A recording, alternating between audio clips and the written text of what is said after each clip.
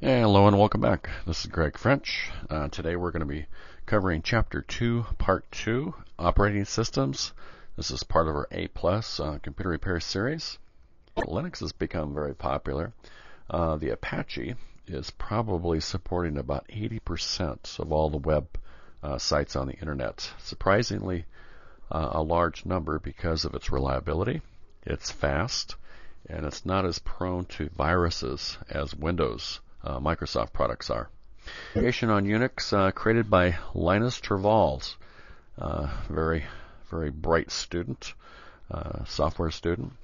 The OS kernel and source code are freely distributable or distributed. Uh, you can find it on the internet. Uh, you're allowed to use it, to review it, make changes to it, and create new versions of the kernels or or new new functionality of the kernel.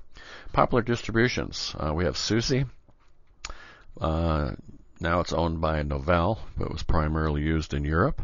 Uh, we have the Red Hat version, which is primarily United States, and then the Turbo Linux, uh, primarily used in Asia. Uh, used as both a server and as a desktop. Again, we have that Apache part of it. OS is uh, first introduced by the Macintosh, 1984. Uh, current version is the Leopard.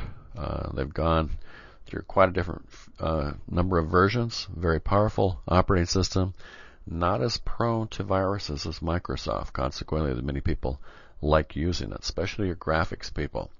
Uh, has a lot of good graphic program, graphics programs, very user friendly.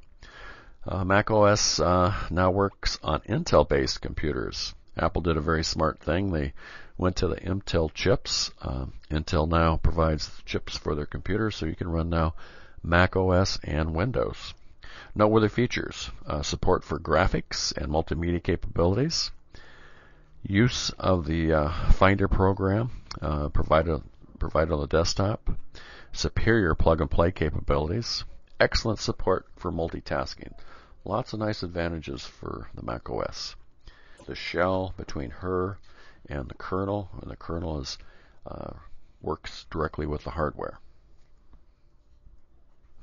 The OS provides user interface. Sequence of events occurring after the PC is turned on. The operating system is loaded. Running OS provides an interface, a desktop, some kind of a desktop for the user to interact with. The OS awaits for an event, such as the double click of your mouse. A user can initiate an event in several ways. Click on a menu item. Using your mouse, you can click on menu items. Enter a command in Run. You can use the Run dialog and actually enter a command directly, or you can double click on any of the icons available. Uh, enter command lines in a command prompt window. We can open up a command prompt window and enter uh, commands directly. This emulates the DOS mode.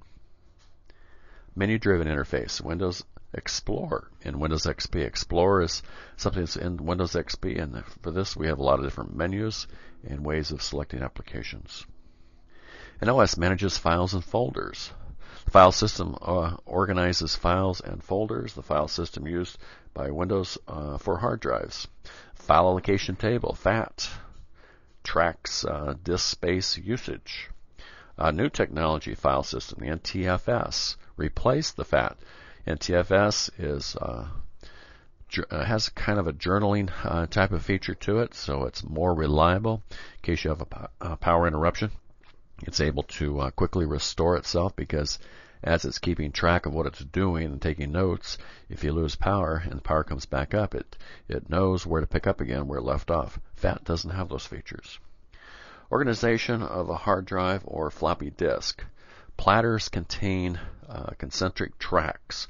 We're going to look at these tracks, and this is where the data is stored. Tracks contain 512 byte sectors. Sector is an area on a track. It's only 512 bytes. It's standard on all hard drives, and this is where the data is located.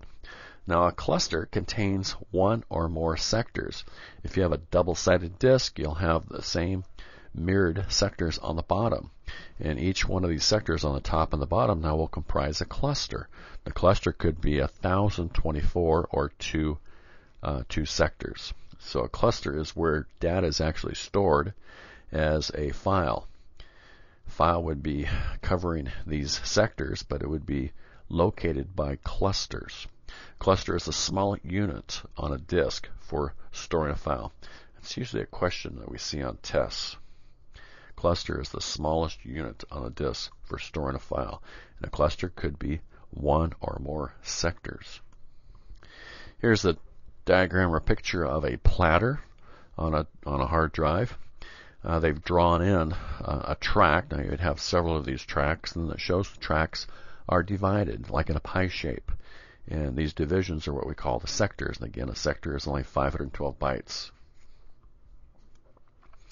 Files and directories. File system hierarchy. Directories called folders in Windows. Subdirectories are child directories or subfolders inside a directory or inside another folder. And then your files. Directory table uh, lists uh, all the subdirectories and files. You have a root directory, directory for the logical drive. Uh, example would be the C drive. Path, drive, directories, file name, and file extension. Example, here we have C, uh, WP, and then a slash, your data, another slash, my files. So you can see this would be the uh, example of a path for locating a file. Here's another diagram. Hard drive is organized into directories and subdirectories that contain these files. You really need to come up with a good organization for your file systems, uh, naming uh, each one of these folders something unique so that you know what the folders contain. Similar to how you'd organize a file cabinet in an office. Partitions, logical drives. Need to understand what a logical drive is logical drive would be not a real drive or a physical drive, but it would be a drive that is divided up into several partitions. On your computer, you might see drives C, D, E, F, and so on. This might be only one physical drive, so we've taken this hard drive and chopped it up into more than one logical drive. So the computer sees several drives, and really there's only one. Two types of partitions. You have primary partitions, and a primary uh, partition can contain only one logical drive. But then you can have extended partitions, and extended partitions contain one or more of these logical drives. Logical drives, sometimes called a volume, formatted using a file system such as FAT, NTFS. There are several others. Has a root directory and subdirectories. Disk management tools used to create and view partitions. Also format the drives. In review, Linux is becoming more and more popular. Why is that? It's stable, it's not as prone to viruses, and it's becoming very user friendly. Shells and kernels. Need to understand what a shell is and what a kernel is. The shell is where the user interfaces with the operating system. The kernel is the actual core of the operating system that manipulates the hardware. Files and directories. How do you organize your hard drive into files and directories and subdirectories? Uh, the organization of your files is very important so that you can find things. Partitions, logical drives. Uh, what is the difference between a primary partition and logical drives or extended partition? Primary t- partition can only contain one logical drive. Your extended partition contain one or more logical drives. So you could have one hard drive chopped up into several different uh, logical drives, so the computer sees more than one drive that way. I Always recommend to the students create at least two partitions, a primary for your operating system and an extended for the files that you don't want to lose. Keep your files on your extended uh, partition so if Windows goes south, you won't lose that important data that you've been that you've been creating. We'll talk more about this. Uh, activities. Uh, why is Linux becoming so popular? Do some research. Explain to me why that is. And explain what a logical drive is. Tell me the difference between a primary partition and an extended partition. Labs, uh, do 2.3 Macworld, turn in the review questions, and then Lab 2.4 Linux, and also turn in the review questions. Now that's it for Chapter 2, Part 2. Next, we'll be looking at Part 3. Thank you very much for your time.